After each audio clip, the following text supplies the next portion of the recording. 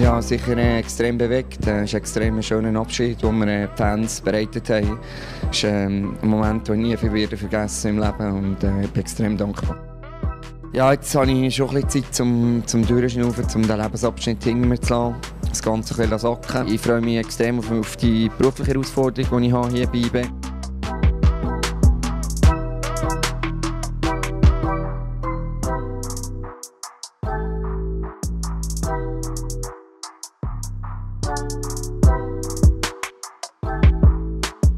Heute äh, stehe ich da und ich habe die volle Überzeugung, dass wir eine gute Zukunft vor uns haben. Und ich freue mich, mit allen Leuten, die IBE am Herzen ist, äh, diesen Weg zu gehen.